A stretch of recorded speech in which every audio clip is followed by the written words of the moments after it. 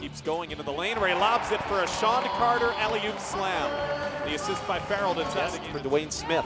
He's got their only basket. He drives, he banks it in. Middle that got knocked away, but back to TV.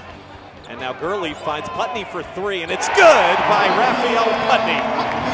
Hallelujah, right? I'm out.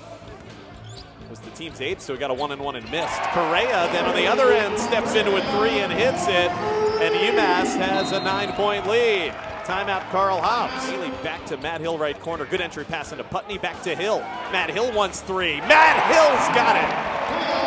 Three straight threes for the Minutemen. They lead 16 to 4. Mikic for three other end. It's good. And finally a basket for the Colonials. Up nine. Here comes Correia. Correia to Matt Hill on the left wing. Nice pass. Hill to Vincent. Vincent at the rim lays it in. Rebound by Nemanja Mikic. He'll step back. He takes a three and splashes it in. Mikic with his second. The freshman from Serbia makes it 18 to 11. Mikic and Pellom gets it off to Correia. Correia lob for Terrell Vincent will bank it in. 20 to 12. Gary Correia. Correia is going to get a high screen from Sean Carter. Step back, got open, three pointer, good. Correia, second three of the half. A big one to put the Minutemen up by eight. Mikic, right corner Taylor. Good pump fake. Gets him inside the arc for an open two, but Taylor missed it in and out. Rebound off the hands of Sean Carter, though, and grabbed back by Bynes. Bynes puts it up and in from about eight feet out. Shot clock Carter and Javorn Farrell now each with three. A three-pointer by Mikic is good out of the right corner. Nemanja Mikic makes the right corner. Javorn in trouble, jumps out of the trap and fires back to Correia at the top of the key. He'll take the three and knock it in. That's the third one he's hit. Get UMass back a six-point lead. Goes to Correia inside the arc. Feeds the left baseline Farrell, who had his shot blocked, got it back and puts it in. Javorn Farrell on the second opportunity. His first basket of the game. Into the lane, Farrell trying to go to the rim and dunk it. Had the dunk block, but it goes to Sean Carter. Carter finds Vincent for a hoop and a foul. So TV, who has been aggressive here at the early stages of the half, will get a free throw.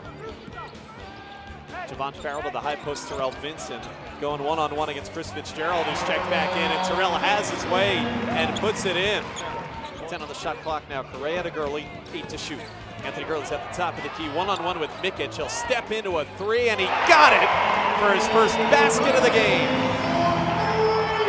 43-38 UMass as he makes big threes. Shot clock winding down late games. Three by Mikic to answer is good from the right corner for GW. The lead is back to two, 43-41. That's his fifth.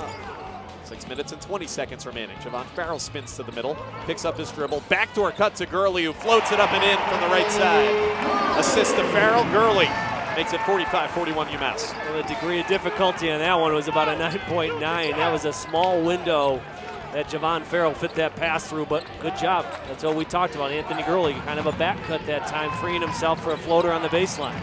The last time they led was with 10 and a half Baker partnered with 13 and a half minutes to go, and they get it on the sixth three of the game by Mikic. Nemanja Mikic makes it a 9-0 run and a 50 to 47 GW lead with 3.05 left. Edwards dropped the pass. Gurley knocked it away, but it's saved by Ware.